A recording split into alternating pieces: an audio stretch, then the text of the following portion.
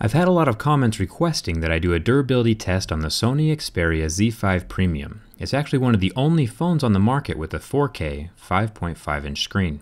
As an added bonus, it is also water resistant. This is the top of the line phone from Sony right now, so let's see how it handles life. Like always, let's start with the scratch test. I have a set of picks that let me see where the screen falls on Mohs scale of hardness. Now, Sony has not bragged anywhere about having Gorilla Glass on their phone. All of the specs specifically say tempered glass. So it's interesting that it scores the exact same level of hardness that a normal Gorilla Glass screen would score. A level 6 leaves a mark on the screen, but a level 7 pick leaves a deeper groove. Hit that thumbs up button for the sweet reflective back on this phone. Now let's test the camera lens.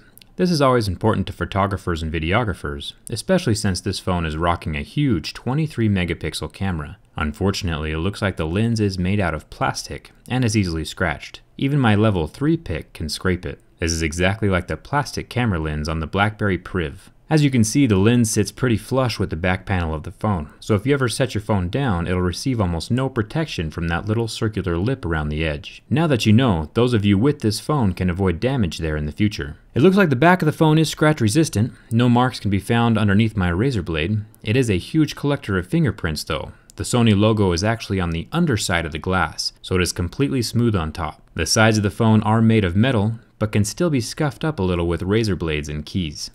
Onto the burn test. The phone is still fully operational at this point.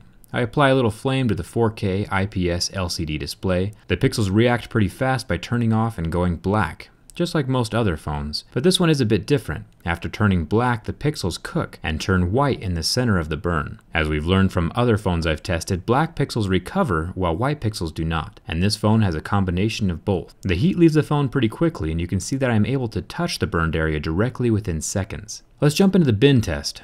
The initial force of my hand snaps the sidebar right next to the power button, which seems to be a theme with bendable phones like the iPhone 6, HTC M9, and the Nexus 6P. That power button is just a weak spot for these phones. The phone is still fully functional at this point though. There is no catastrophic failure like the Nexus 6P. When I bend it back from the other side, the sidebars next to the SIM card slot break open. So yes, the phone does bend, not to destruction like the M9 or the 6P, but it is indeed broken. If they could make the phone a tad bit stronger and fix that camera lens, it would probably be one of my favorite phones right now. Thanks for watching. If you've enjoyed this video and want to watch all of the other major flagship phones tested in the future, make sure you're subscribed. I post behind the scenes stuff most regularly on Instagram and Twitter.